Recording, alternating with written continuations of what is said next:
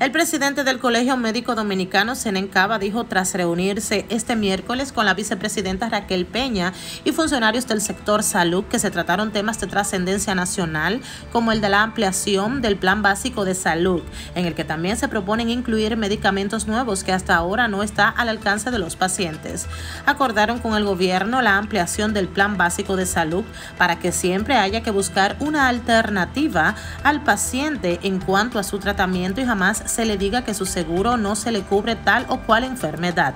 En ese sentido agregó que si el tratamiento es muy nuevo, siempre se le cubrirá una parte a los afiliados a las aseguradoras de riesgos de salud.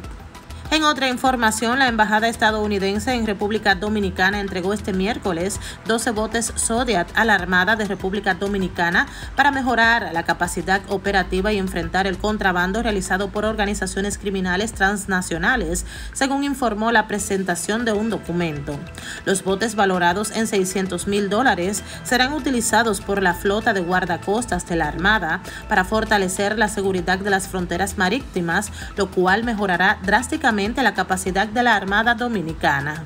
Por último, la Dirección Especializada de Atención a la Mujer y Violencia Intrafamiliar de la Policía Nacional afirmó que mejora e incrementa sus acciones y presentó su informe semanal basado en los trabajos conjuntos realizados de manera interinstitucional.